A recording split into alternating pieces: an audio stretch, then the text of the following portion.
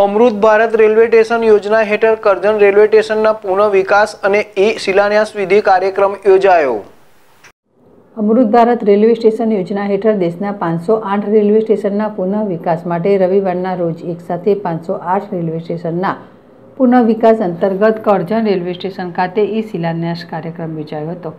કાર્યક્રમના પ્રારંભે અતિથિઓનું પુષ્પગુચ્છ અર્પણ કરી સ્વાગત કરવામાં આવ્યું હતું. ત્યારબાદ સારાના સાત્રોએ વિવિધ સુંદર સાંસ્કૃતિક કાર્યક્રમો રજૂ કરી હાજરજનોને હૈયા ડોલાવ્યા હતા. ત્યારબાદ નગરની શાળામાં યોજાયેલી પ્રતિયોગિતામાં ઉત્કૃષ્ટ દેખાવ કરનાર, પ્રથમ, દ્વિતીય અને તૃતીય ક્રમાંક પ્રાપ્ત કરનાર સાત્રોને પુરસ્કાર એનાયત કરવામાં આવ્યા હતા. ત્યારબાદ કરજણના ધારાસભ્ય અક્ષય પટેલે પોતાના સંબોધનમાં ભારત સરકાર દ્વારા કરજણ રેલવે સ્ટેશનના પુનઃ વિકાસના કાર્યોની સરાહના કરી હતી.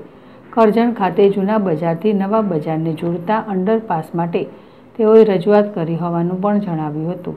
કરજણ રેલવે સ્ટેશન ખાતે ઘણી બધી સુવિધાઓ ઉપલબ્ધ કરાવવામાં આવશે એમ તેઓએ જણાવ્યું હતું. ત્યારબાદ દેશના પીએમ નરેન્દ્ર મોદીએ રિમોટ દબાવી રેલવે સ્ટેશનની શિલાન્યાસ વિધિ કરી હતી. તેઓએ જણાવ્યું હતું કે ભારત સરકાર દ્વારા દેશના રેલવે સ્ટેશનોના આધુનિકરણ માટે સર્વોચ્ચ પ્રાથમિકતા આપવામાં આવી રહી છે. સાથે સાથે રેલવે સ્ટેશનના પુનઃ વિકાસના કાર્યો માટે સરકાર પ્રતિબદ્ધ હોવાનું જણાવ્યું હતું. રેલવે સ્ટેશનો પર મુસાફરોનો ઉમદા સુવિધા મળી રહે એ માટે પૂરતા પ્રયાસો કરીશું એમ તેઓએ જણાવ્યું હતું. દેશના રેલવે સ્ટેશનો હવે વિદેશમાં આવેલા રેલવે સ્ટેશન જેવા આધુનિક બનશે એમ તેઓએ જણાવ્યું હતું.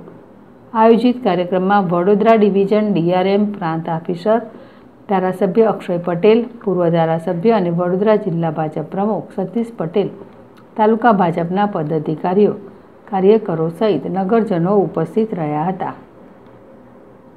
યાકુબ પટેલ, જેડેશ ટીવી કરજણ.